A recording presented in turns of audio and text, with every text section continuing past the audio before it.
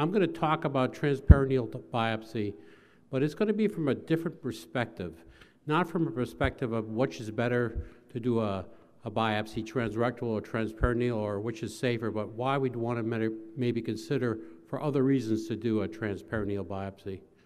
Those are my disclosures. Um, as Dr. Garwood said, we do about 1.2 million biopsies a year, and the majority of them are still TRUS. The last reported literature showed about 5% were transperineal, but as we know, this has been increasing, and I suspect we're going to start seeing this is closer to the 10 to 15% range. Classically, we treat the whole gland when we have to uh, deal with a patient with localized prostate cancer, and it's either uh, some form of uh, extirpation that's removal, prostatectomy, or external beam radiation, or brachytherapy. But the long term morbidity for both of these procedures is substantial. And if we want to apply whole gland therapy using cryo or HIFU, there may be less morbidity, but there's a, I think we recognize there's a much higher local failure rate. So whole gland extirpation is technically challenging and often not successful. Success being measured by both success in uh, eradicating the cancer and not having uh, um, unnecessary morbidity. So focal therapy can can the treatment of a portion of the prostate give similar oncologic results and improve the quality of life? That's the main question now that we're addressing and trying to figure out whether or not we should be offering more focal therapy. And what we really need to determine is how to properly identify candidates and which portions of the prostate don't require ablation. So our focus has always been where is the cancer? Let's treat that area. But really, what we should be thinking about is where is no, there no cancer? We can leave that portion of the prostate alone and only address the portion that's going to affect uh, the patient's longevity. So think about it. Let's look where there is no cancer and maybe we could spare that. Classically, uh, we've arrived now, we've uh, decided that MRI is very helpful.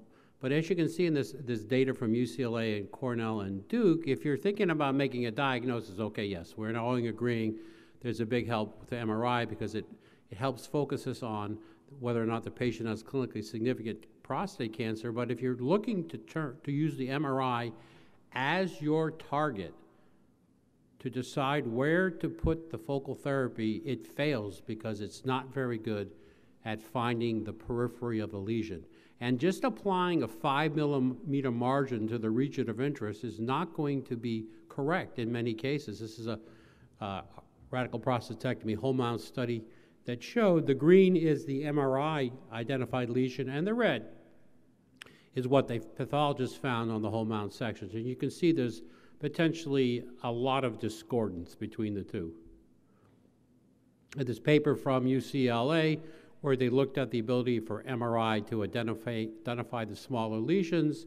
When the tumors are smaller than 0.5 centimeters and they're multifocal, MRI missed almost 90% of the cancers, and clearly over one third or roughly one third of them were clinically significant. So let's talk about transperineal mapping. This is a shot I, of Dr. Skouteris in, in, Greece doing the grid approach under anesthesia. Uh, and you can see there in the monitor, he's got the needle in the prostate transperineally.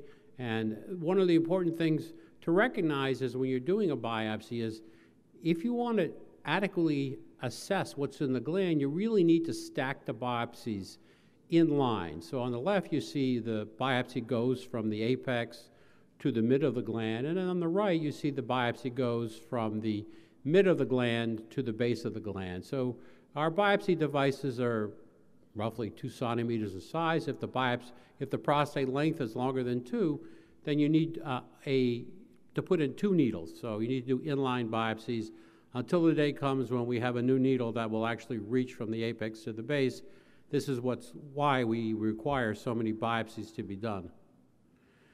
This is a paper we published on transperineal biopsy uh, in the Journal of Urology, and what the regression line on the right shows you is the black dots represent a large number of studies published where they report the biopsy density. The biopsy density is defined by the number of cores you take divided by the prostate volume. So if you had a 30 cc prostate, you took 30 biopsies, your biopsy density would be 1.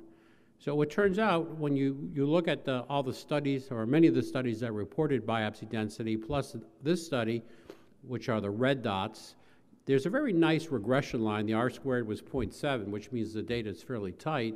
And as you increase the number of biopsies you take, you increase the diagnosis of both clinically significant cancer, but you also increase the diagnosis of clinically insignificant cancer. So that's the downside of so many biopsies. Dr. Dr. Dave Crawford has uh, compared this work to his prostatectomy database and has found that the correlation when you have a high biopsy density to the prostatectomy uh, specimens are very close in terms of the accuracy of the Gleason scoring. This is a paper we recently published in British Journal of Urology, which looked at comparing the MRI, PIRADS 3 to 5, to the mapping biopsy. So in this case, the biopsy density, as you see down here, was 1.6.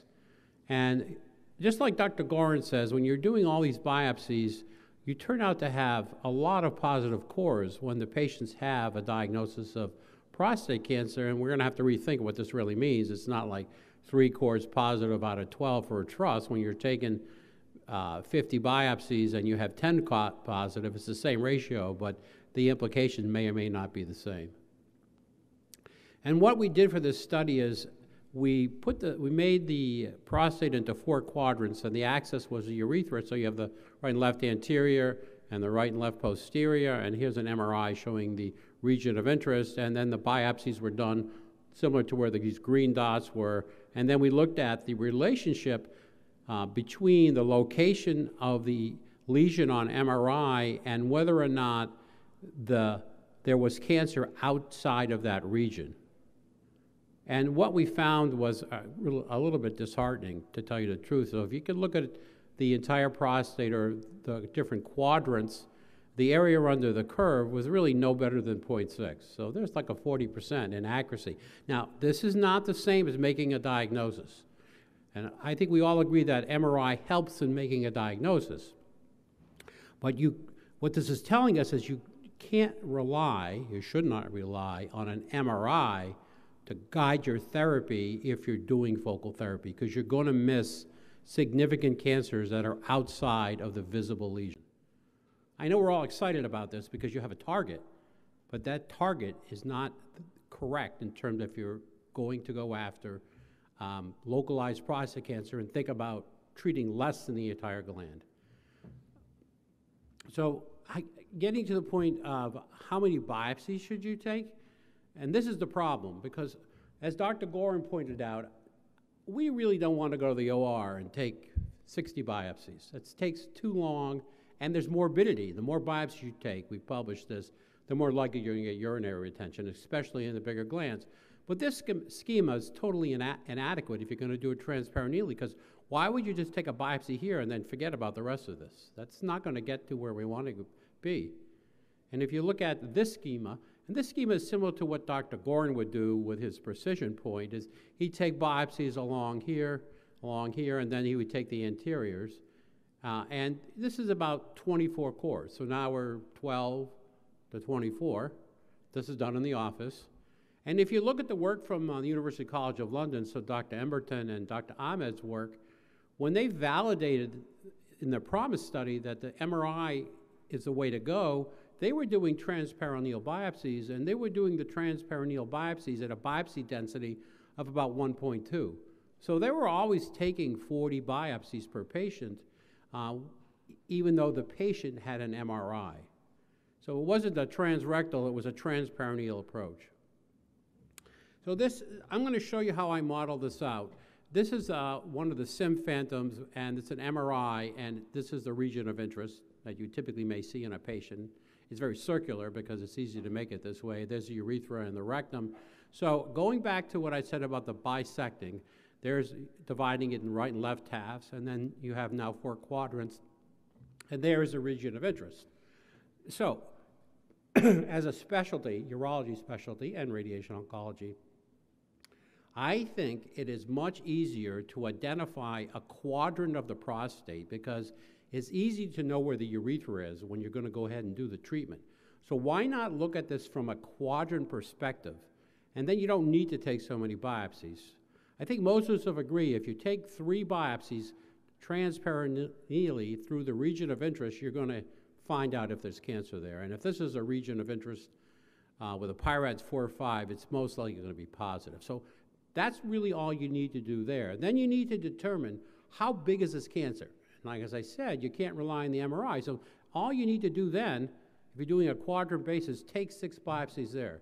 If those biopsies are negative, then you know everything inside that quadrant should be ablated if the region of interest is positive. So what about the rest of the prostate? So on the rest of the prostate, you have to be posteriorly, you have to be a little bit more aggressive. So you need to really be doing biopsies like that. But on the anterior, the cancers are not that common. So you really only need to do biopsies like that. So that lends up with six, 26 primary biopsies plus four to six inline biopsies, which is roughly 30 to 32 biopsies on average. A little bit more with a bigger prostate, but this is not difficult to do in the office. They would disagree a little bit with what Dr. Gorin said. Yes, you can use a precision point. There's another one called Surefire. But you can also do this with a grid. Dr. Jos Immerzeel in Amsterdam has done more than a thousand MIM BK fusion biopsies under local anesthesia with a grid. So you don't need to eliminate the grid to do this type of biopsy. And I do think the grid has some advantage because when you're doing this sort of localization issue, it's easier to localize when you fire the needle straight versus firing it at an angle. So I eh, now am thinking that we should be looking at the diagnosis and treatment of prostate cancer from this, what I call the unified approach, where you have image fusion. So you fuse the MRI to an ultrasound image, you do some form of mapping biopsy, and that remains to be discussed what's the best. But you want to be able to register the location of the biopsy sites, both positive and eventually uh, all of them in both uh, two dimensions and three dimensions with representations. You got to be able to upload the pathology results so you can take that file in DICOM and register, register that file to a focal therapy treatment platform. This, in my mind, is the way we should be looking at how we manage our prostate cancer patients, not taking 12 biopsies, taking the patient to the OR, and doing a robotic prostatectomy or external beam radiation.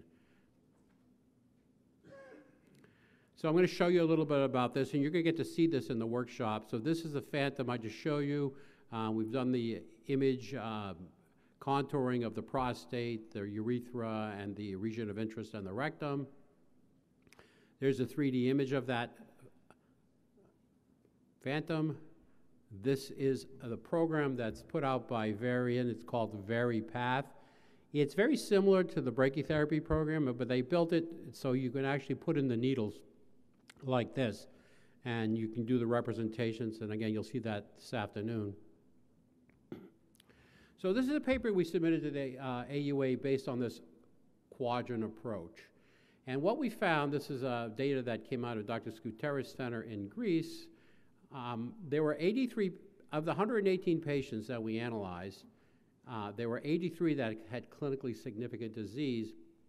And you can see um, that 30 of the 118 were limited to just one quadrant, 36 were limited to two. So that's a little slightly more than half the patients had one or two quadrants positive. So then the next question is where are these quadrants? So again, I put the prostate into four quadrants. So if you look at one lesion, no cancers were found in the right anterior of the gland.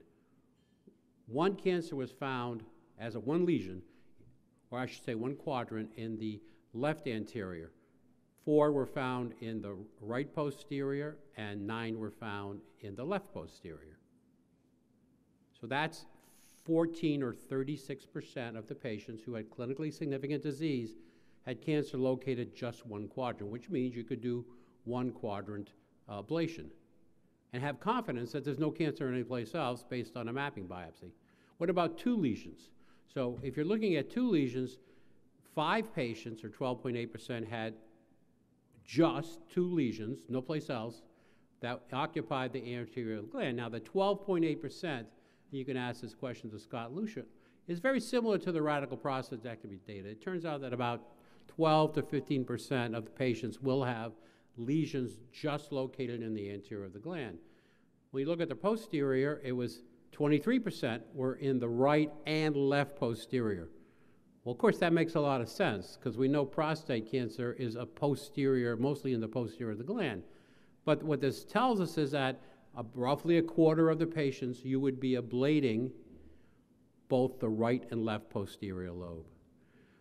Only 10% were a hemiablation potentially on the right side of the prostate and 15% on the left side. So 25% of the patients could either have a left or right hemiablation. And what's it's not common, but there were still one patient had a left anterior and right posterior lesion only, and two patients had a right anterior and left posterior lesions only. So it happens, but not not commonly.